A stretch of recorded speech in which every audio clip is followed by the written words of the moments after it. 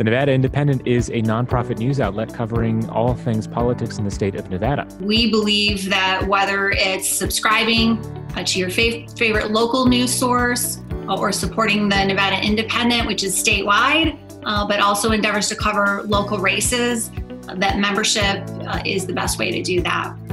Like many industries over the years, uh, journalism has been battered in a variety of ways, particularly at the local level at a time where there's so much misinformation, half information, um, people trying to massage and manipulate the news in a wide variety of ways. It's more important than ever to have a solid, reliable source of good journalism uh, to rely upon.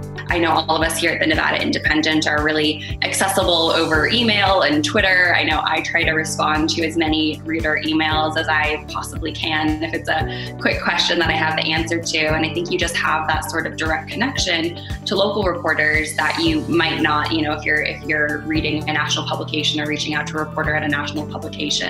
There are so many things going on in our world, in our state, in our local governments that will never be covered unless there is a robust group of journalists in a given community. There are already way more stories than there are journalists to cover them.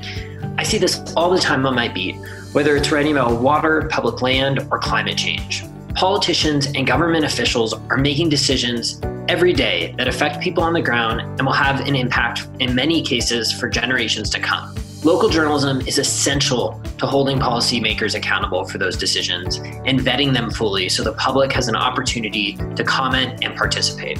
But if you don't have local outlets, then uh, you're not going to be able to hold people in power to account. You're not going to be able to help explain the world to people who don't have time to investigate it or write about it the way that our journalists do. And so I think we perform a valuable service for the community.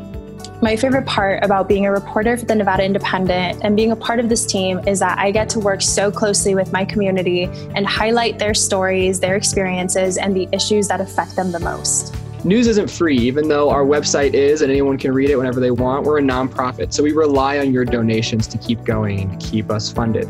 So please donate if you can, and we will keep providing you the best quality news that we can.